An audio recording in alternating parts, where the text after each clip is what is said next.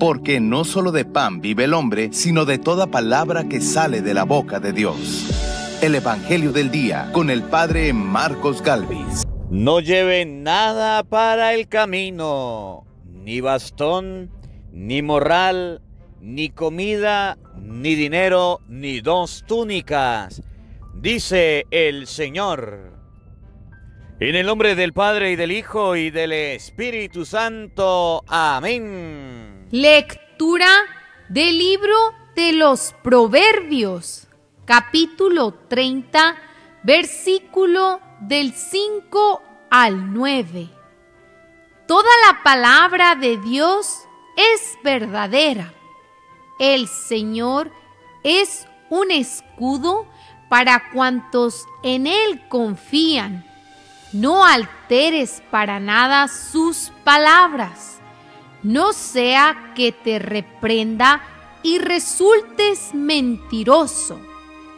Dos cosas te pido, Señor, antes de morir. No me las niegues. Líbrame de la falsedad y la mentira. No me des pobreza ni riqueza Dame tan solo lo necesario para vivir, no sea que la abundancia me aparte de ti y me haga olvidarte, no sea que la pobreza me obligue a robar y me lleve a ofenderte. Palabra de Dios. Te alabamos, Señor. Al salmo responderemos todos. Condúceme, Señor, por tu camino. Todos. Condúceme, Señor, por tu camino. Apártame de los caminos falsos y dame la gracia de cumplir tu voluntad. Para mí valen más tus enseñanzas que miles de monedas de oro y plata. Todos. Condúceme, Señor, por tu camino. Tu palabra, Señor, es eterna, más estable que el cielo. Aparta mi pie de toda senda mala para cumplir tus palabras todos. Condúceme, Señor, por tu camino. Medito tus secretos y odio el camino de la mentira. Detesto y aborrezco la mentira y amo tu voluntad. Todos. Condúceme, Señor, por tu camino. El Señor esté con todos ustedes. Mis hermanos, les anuncio la buena noticia de nuestro Señor Jesucristo, según San Lucas. Gloria a ti, Señor. En aquel tiempo, Jesús reunió a los doce y les dio poder y autoridad para expulsar toda clase de demonios y para curar enfermedades. Luego los envió a predicar el reino de Dios y a curar a los enfermos. Y les dijo, no lleven nada para el camino, ni bastón, ni morral, ni comida, ni dinero, ni dos túnicas Quédense en la casa donde se alojen hasta que se vayan de aquel sitio. Y si en algún pueblo no los reciben, salgan de ahí y sacúdanse en el polvo de los pies en señal de acusación. Ellos se pusieron en camino y fueron de pueblo en pueblo predicando el Evangelio y curando en todas partes. Palabra del Señor. Gloria a ti, Señor Jesús. Amados hermanos, invoquemos la presencia del Espíritu Santo sobre nuestra vida. Pidámosle a Él que nos asista. Pidámosle al Espíritu Santo que nos acompañe que prepare nuestro corazón y nuestra mente el terreno donde vamos a sembrar la semilla de su palabra. Hoy que Jesús nos invita a expulsar el demonio. Hoy que Jesús nos invita a curar a los enfermos. Hoy que Jesús nos invita a predicar su palabra. Pidámosle al Espíritu Santo que nos dé la gracia de poder cumplir esta misión de poder cumplir este encargo que Jesús nos ha hecho. Vamos a decir todos, Santo y Divino Espíritu, llénanos plenamente de tu luz, de tu sabiduría, para interpretar tu palabra, no como palabra humana, sino como palabra de Dios, que es en realidad y que ejerza su acción en nosotros los creyentes. Amén. Sea bienvenidos queridos hermanos quienes nos siguen a través de las redes sociales. Se les saluda el Padre Marcos Galvis desde Venezuela, un abrazo en la distancia para cada uno de ustedes. Amados hermanos, hoy es miércoles 23 del mes de septiembre. Alabo y bendigo a Dios por la vida de cada uno de ustedes. Alabo y bendigo a Dios por este hermoso día que nos regala, por este encuentro, por este compartir de la palabra de Dios. Bendito sea Dios que nos permite reunirnos como una sola familia para escuchar las sagradas escrituras. Queridos hermanitos, en este día la palabra de Dios está tomada del libro del San Lucas, capítulo 9, versículo 1 y siguiente. Repito, San Lucas, capítulo 9, versículo 1 y siguiente. Y el evangelista San Lucas en este día nos va a presentar a Jesucristo dándole a los apóstoles unas orientaciones para el envío que le va a hacer. Jesucristo el Maestro da tres orientaciones en este día. Y estas tres orientaciones tienen varias características. La primera orientación que le da a los discípulos, a los apóstoles, es que expulsen el demonio, que echen fuera el demonio. Con el demonio no se vive, con el demonio no se comparte, con el demonio no se está. Y Jesús le dice, saquen a los demonios expulsen, expulsen, corran, que el demonio no viva con ustedes. La segunda orientación que Jesús le da a los apóstoles es que curen a los enfermos, que curen a los enfermos. Jesús enseña que en el envío misionero se va a encontrar personas enfermas y las personas enfermas hay que curarlas. Las personas enfermas hay que curarlas. Y en tercer lugar, Jesús le dice a los apóstoles, vayan a predicar la palabra de Dios. Vayan a evangelizar. Vayan. De manera que estas tres características las muestra San Lucas capítulo 9 versículo 1 y siguiente.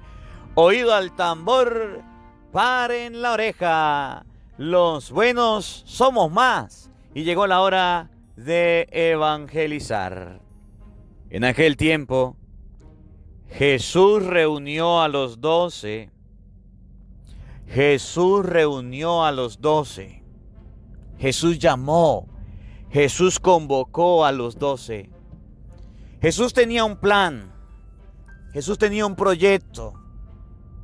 Y ese plan y ese proyecto de llevar la obra de Dios no lo hizo solo, no trabajó solo. Jesús llamó a doce apóstoles.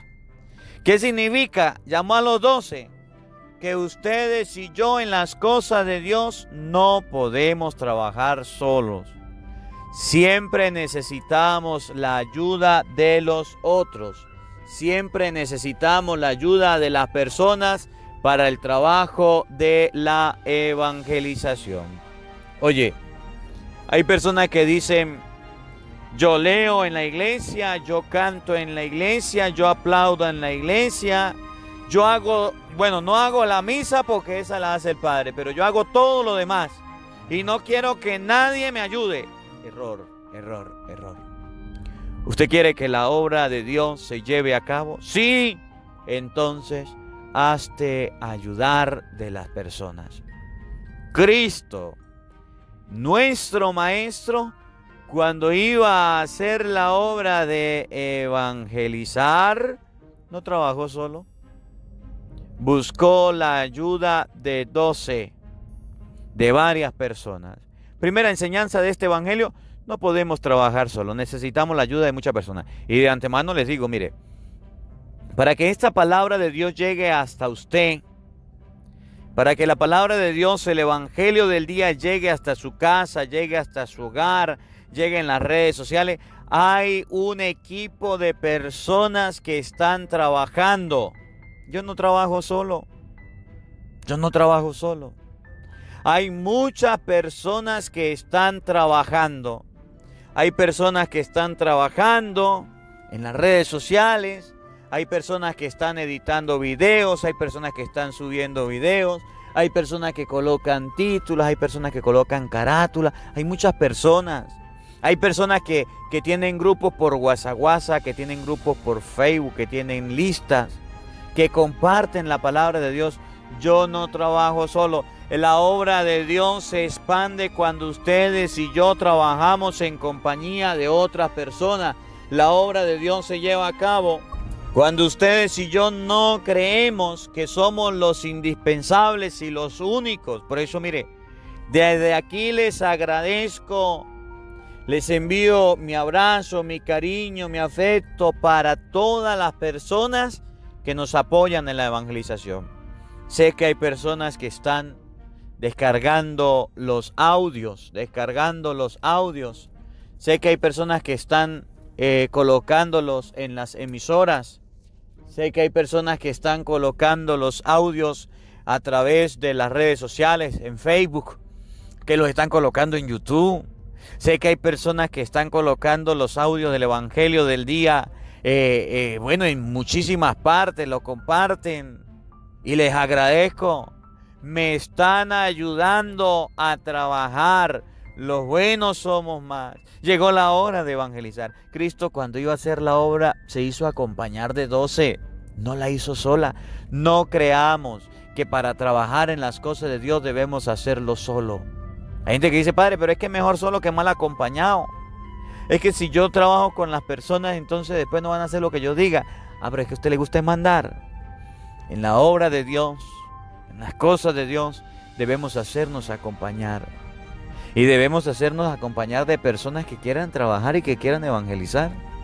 Miren, Jesús reunió a los doce y les dio poder y autoridad les dio poder y autoridad. Dos cositas que Jesús le dio a los doce. Primero, poder. Y segundo, autoridad. Dos cositas que debemos tener presente, de las cuales no debemos abusar, de las cuales debemos usar en bien, en bien de la evangelización. Poder y autoridad. Dios nos ha dado a nosotros poder y el poder, ahorita lo vamos a ver cómo se ejerce. Y otra cosa que nos ha dado es la autoridad. Pero resulta que ustedes y yo creemos que ese poder y esa autoridad que tenemos, porque estamos evangelizando, vamos a pensar por ejemplo en el sacerdote. El sacerdote tiene el poder y la autoridad. y Dios lo ha puesto a través del obispo en una comunidad. Y como tiene poder y autoridad, entonces se vuelve una persona déspota. Se vuelve una persona que cree eh, que se cree la última pechicola del desierto. Porque tiene autoridad, maltrata a los feligreses, los humilla, los grita, los corre. Porque tiene poder y autoridad, hace en la iglesia lo que le viene en gana. Hace cosas malas, hace cosas buenas y no le importa. Para eso no es el poder y la autoridad. Pero no solamente el sacerdote, también puede pasar que hayan laicos.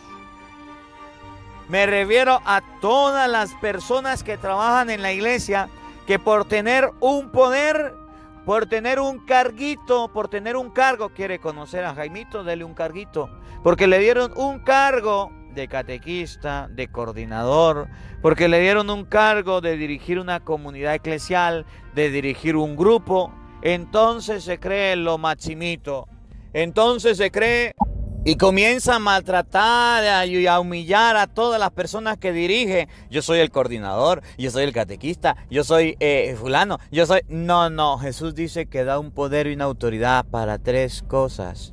No para humillar, no para maltratar no para doblegar, no para que creerse la última pepsicola del desierto. No.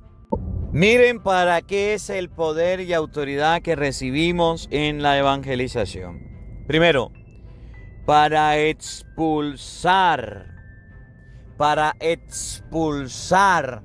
¿Qué significa expulsar? Echar fuera.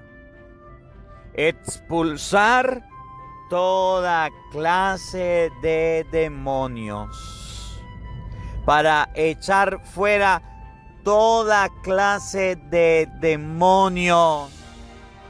El demonio tiene que ver con el pecado. El demonio tiene que ver con el vicio. Dice toda clase. No dice solamente a los endemoniados. Echarlo fuera. No. Toda clase de demonios. Y aquí, y aquí quiero detenerme un momento, porque hay que hay personas que dicen que el demonio solamente está en una persona poseída, que el demonio solamente actúa en esa persona, o está infestado, o está perturbado, o está contaminado por el demonio.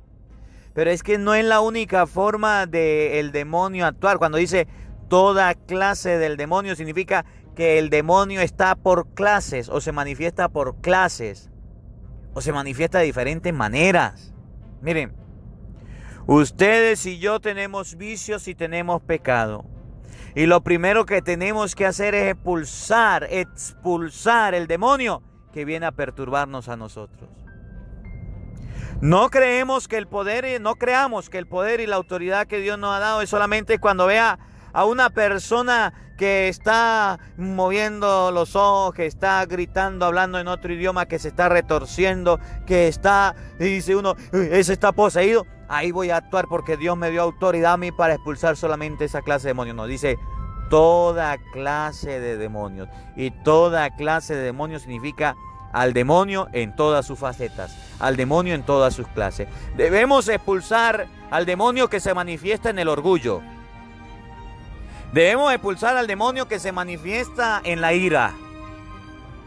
Debemos expulsar al demonio que se manifiesta en la lujuria, que se manifiesta en la avaricia, que se manifiesta en la gula, el demonio que manifiesta en la pereza, el demonio que se manifiesta en las borracheras, que se manifiesta en la pornografía, que se manifiesta en las drogas, en la prostitución, que se manifiesta en el homosexualismo, en el levianismo. Ese demonio debemos expulsarlo. Y muchas veces, óigame bien, muchas veces esos pecados ustedes y yo lo tenemos. Ustedes y yo somos portadores. Ustedes y yo no lo expulsamos de nosotros mismos. Cuando dice la palabra de Dios, toda clase de demonios se refiere a que el demonio puede tomar diferentes formas, a que el demonio puede trabajar de diferentes maneras. no solamente en el vecino, sino también en nosotros. No solamente en la persona de que tenemos al frente, sino que también en nosotros. Es fácil ver que una persona tenga un demonio. Es fácil decir a que él tiene un demonio. Pero reconocer la acción del demonio o los diablitos que podemos tener nosotros, que podemos llevar, que nos están haciendo ruido, eso no lo conocemos. Y Jesús dice, toda clase de demonios. El demonio en sus diferentes clases. Segundo, oiga, y para curar enfermedades. A los demonios los, coloca por clases. A, a, las enfermedades las habla en general. A las enfermedades de todo índole. Fíjense, el predicador puede padecer de varias enfermedades. Cuando le dicen vamos a predicar, vamos a misionar, dice no puedo, estoy ocupado. Cuando le dicen, vamos a rezar el Santo Rosario, ay, es que me duele la cabeza. Vamos a la misa, ay, es que me siento enfermo. Esas enfermedades hay que, hay que curarlas. El que va a predicar debe estar sano de todas las enfermedades. De la enfermedad de la pereza que puede contagiarse. De la enfermedad que ustedes y yo podemos tener. Y, decir, eh, bueno, yo, yo voy a predicar, yo voy a, evangelizar, pero sin leer la Biblia. Yo voy a predicar, yo voy a evangelizar, pero estoy contagiado de, de, la indiferencia. De esas enfermedades hay que curarnos. De esas cosas, ustedes y yo debemos curarnos. Debemos curarnos de toda enfermedad que podamos tener a la hora de evangelizar. Y de curar enfermedades también significa que hay personas enfermas que hay que visitar y hay que orar por ellas. Hay que orar por ella. Y aprovecho la ocasión para, para, para pedirle que en los comentarios, en los comentarios, siempre acostumbren a colocar los nombres de los familiares enfermos. Eh, tanto en el Evangelio del día con el Padre Marcos Galvis como en la misa de hoy, Padre Marcos Galvis, estamos haciendo oración por todos los enfermos. Curar las enfermedades significa que cuando usted le predica la palabra de Dios a alguien, cuando usted le evangeliza a alguien, esa persona puede estar enferma y esa persona hablándole de Dios se puede curar. Por ejemplo, la suegra de Pedro. La suegra de Pedro estaba en fiebre, tenía fiebre, estaba en casa y la fiebre era muy alta.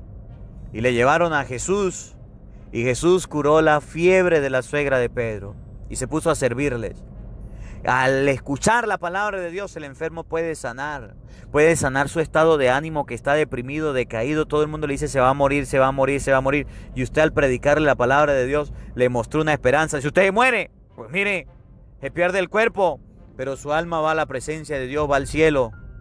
Aproveche la ocasión y el enfermo puede ser que no esté preparado y dice, me voy a preparar porque voy a morir. Y si voy a morir, me voy para el cielo, me voy con Cristo y ya perdió la depresión. Oye, Segundo, de curar toda enfermedad. Escuchen. Luego los envió a predicar el reino de Dios. Tercero, los envió a predicar el reino de Dios. En español, les dio a los apóstoles el encargo de que fueran a decirle a todos que en el cielo hay un rey que en el cielo hay un reino, que en el cielo hay un tesoro, que en el cielo hay un lugar para todos. O, mejor dicho, con otra palabra, que busquemos el cielo como buscamos un reino. Que busquemos el cielo como buscamos un tesoro. El pueblo de Israel, yo no sé si ustedes han leído el primer libro de la Biblia, el libro del Génesis, el libro del Éxodo el libro del Levítico. Miren, en el libro del Éxodo, les recomiendo que lo lean. Ven, ve, podemos ver al pueblo de Israel. El pueblo de Israel, un pueblo que Dios escogió, comenzó la, la promesa con Abraham y le hizo la promesa a Abraham de multiplicar la descendencia, le hizo la promesa a Abraham de, de bueno, de que si dejaba Ur de los caldeos, que si lo seguía, que Dios le iba a dar una tierra prometida. Abraham aceptó.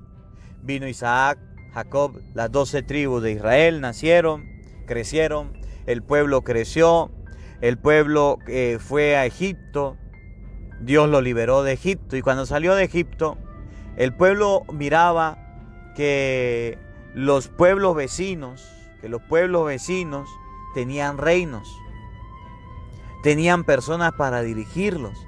Y entonces el pueblo de Israel se acercó al profeta y le dijeron al profeta, denos un rey. Le dijeron a Samuel, Samuel, denos un rey. Y Samuel le dijo al pueblo, no rechazan, no me rechazan a mí, están rechazando a Dios. Dios se va a poner bravo. Díganle a Dios que nos dé un rey. Y Samuel se fue a hablar con Dios y le dijo, mire, el pueblo está diciendo esto, el pueblo está diciendo esto, quieren un rey. Y Dios le dijo, está bien, les voy a dar un rey. Pero dígale al pueblo que si les doy un rey va a ser así, van a ser esclavos del rey. Sus mujeres, sus hijos van a pasar a servicio del rey. Le dijo todas las condiciones negativas para que no pidieran un rey. Y el pueblo dijo, queremos un rey, porque es que los demás tienen rey, nosotros no. Y les dio al rey Saúl, el primer rey del pueblo de Israel. Y el pueblo emocionado pidió un rey. Y el pueblo se acostumbró al reinado. Después del rey Saúl vino el rey David y fueron pasando los reyes. Salomón, cuando Jesús vino, estaba, había, habían reyes también, estaba el rey Herodes. Y entonces como el pueblo tenía tanto deseo de tener un rey, Jesucristo coloca un ejemplo y dice, vayan a predicar que el reino de los cielos está cerca. Que así como la gente, que así como las personas desean un reino, que así como la gente, que así como Israel deseó un reino de la tierra, allá en el cielo también hay un reino. Que luchen por ese reino, que pidan ese reino. Por eso en el Padre Nuestro de Mateo, eh, del Evangelio de Mateo capítulo 9, versículo 6, Jesús dice, venga a nosotros tu reino. Que en el cielo también hay un reino. Que las cosas de Dios para nosotros deben ser como un reino. Por eso Jesús le dice, vayan a decirle a la gente que el cielo es un reino, que allá vamos a ir todos, que aquí en la tierra no vivimos como reyes, pero en el cielo vamos a vivir como reyes. Si ustedes y yo hacemos lo que Dios nos manda. Escuchen. Y le dijo, no lleven nada para el camino. No lleven bastón, no lleven morral, no lleven comida, ni dinero, ni dos túnicas Jesús dice que para evangelizar, que para predicar, ustedes y yo no necesitamos de esas cosas materiales que estamos acostumbrados. Ustedes y yo en la vida decimos, es que yo para evangelizar necesito esto, esto, esto, esto. No, Jesús dice, no lleven nada. No lleven bastón. Bastón, la autoridad que se reflejaba. El bastón, por ejemplo, el bastón de que Moisés, con el que tocó el mar para que se abriera, con el que tocó la piedra para que surgiera agua, el que lanzó al frente del el faraón, el bastón que, que, conserva el libro de Hebreos, capítulo 9, versículo 4, dentro del arca de la alianza, que representaba la autoridad. Jesús dice, esa autoridad que da el bastón, que da el cetro, que se da con imposición, no la lleven. La autoridad que Dios les da es una autoridad del cielo. No lleven bastón, no lleven morral. El morral, el lugar donde se guardaban las cosas, donde se hacía la maleta, donde se hacían las, la, maleta, entonces se iba a viajar, se hacían grandes maletas. El misionero no necesita de grandes maletas, ni comida. Es que yo voy a misionar, yo voy a predicar, entonces voy a llevar la comida para el mes que voy a predicar, evangelizar. No se preocupe de eso ni dinero. Es que si yo evangelizo, entonces me tienen que pagar. Ah, ¿Cuánto hay para que me para que para evangelizar? ¿Cuánto hay para eso? A ver, si yo voy a, predicar, si yo voy a evangelizar, si yo voy a misionar, pues me tienen que pagar. Si no me pagan, pues no voy. Ni dinero. Oigan, ni dos túnicas. La túnica era el manto que se cubría. Eh, tenía el manto, tenía la túnica era la ropa de repuesto. Jesús dice, no lleven ni túnica. Usted no ande preocupado de las cosas exteriores. Usted no ande preocupado de las cosas que no son, que no son de Dios. Usted preocúpese por las cosas que vienen de Dios, que son del Señor. De las cosas que Dios no le interesa, pues no, de las túnicas no se preocupe, de la ropa no se preocupe. El mismo Jesús le llegó a decir que ni Salomón, con todo su esplendor, con todo su dinero, se llegó a vestir como un lirio del campo. Quédense en la casa donde se alojen hasta que se vayan de aquel sitio. El primer lugar donde Jesús envía a misioneros en la casa, en tu casa, en mi casa. Ustedes y yo podemos ser predicadores, pero debemos acostumbrarnos a predicar en nuestras casas. Y si en algún pueblo no lo reciben, salgan de ahí, sacúdanse en el polvo de los pies en señal de acusación. Si en algún lugar, si en algún pueblo no hay recibimiento, no aprendamos las costumbres de ese pueblo Tan malas son las costumbres, dice Jesús, que hasta el polvo de los pies debemos sacudirlo para no aprender las malas costumbres. Porque podemos ir a evangelizar y llegamos a una comunidad o a algún sitio y llegamos a ese lugar, pero resulta que toda la gente de ese pueblo tenía la cultura de decir malas palabras. Y entonces el misionero se volvió grosero ¿Y por qué usted se volvió grosero? Ah, porque es que donde fui a evangelizar todos eran groseros. Jesús dice, sacudas el polvo de los pies de ese lugar. Ellos se pusieron en camino y fueron de pueblo en pueblo, predicando el Evangelio y curando en todas partes. Los apóstoles hicieron caso a Cristo. Que ustedes y yo le hagamos caso al Señor. Que la palabra de Dios habite en nuestros corazones. Amén. El Señor esté con todos ustedes. Y la bendición de Dios Todopoderoso, Padre, Hijo y Espíritu Santo, descienda sobre ustedes y les acompañe siempre. Amén. Dios le bendiga, Dios les acompañe. Les habló el Padre Marcos Galvis desde Venezuela. Un feliz día para todos. Los quiero mucho. Nos vemos mañana. Dios mediante a la misma hora por el mismo canal. Los esperamos. Hola, sé que te gusta oír la palabra de Dios, por eso te invito a suscribirte en nuestro canal de YouTube, Padre Marcos Galvis. No se le olvide darle a la campanita, donde vas a recibir videos, enseñanza de temas de la palabra de Dios. También vas a recibir el Evangelio del día. Luego, puede darle me gusta a nuestra página en Facebook Padre Marcos Galvis, y también nos puedes seguir en Twitter, Padre Marcos Galvis. Estos enlaces los encontrarás en la descripción del video.